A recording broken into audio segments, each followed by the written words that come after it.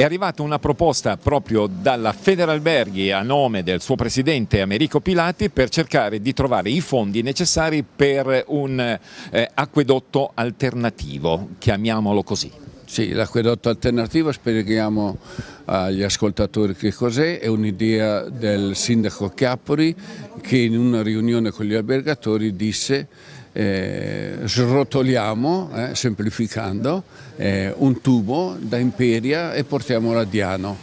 Una dimensione naturalmente non di 60 ma sarà di 30, però potrebbe bastare eh, la gestione oculata che noi potremmo avere eh, con, eh, nelle nostre strutture di salvare la stagione, perché pensate un po' se dovesse succedere, da quello che mi risulta la preoccupazione dell'Amat è fortissima, quindi significa che loro sanno lo stato, lo stato eh, dell'acquedotto come si trova, quindi eh, è successo l'altro giorno senza pressione perché è minima. Immaginate quest'estate quando a Diano Marina ci saranno 60.000 persone, la pressione sarà a 4 atmosfere, butto lì, butto lì e quindi salterà per aria.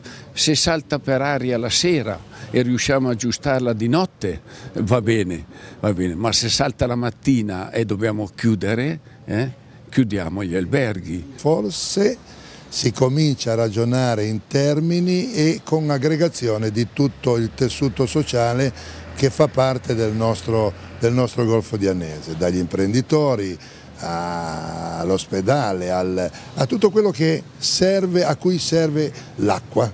E noi diciamo che è il momento per lanciare questo urlo oltre confine, che non è solo della provincia di Imperia, ma far capire a chi eh, può capirlo, che non certamente Imperia, ma Genova e, e lo Stato, che qui c'è una situazione insostenibile, una situazione che da anni noi gestiamo a nostre spese, nel senso che paghiamo tutti, gli albergatori perdono clienti, poi li andiamo a recuperare, poi li riperdono perché eh, l'anno scorso 38 rotture di quelle che sappiamo.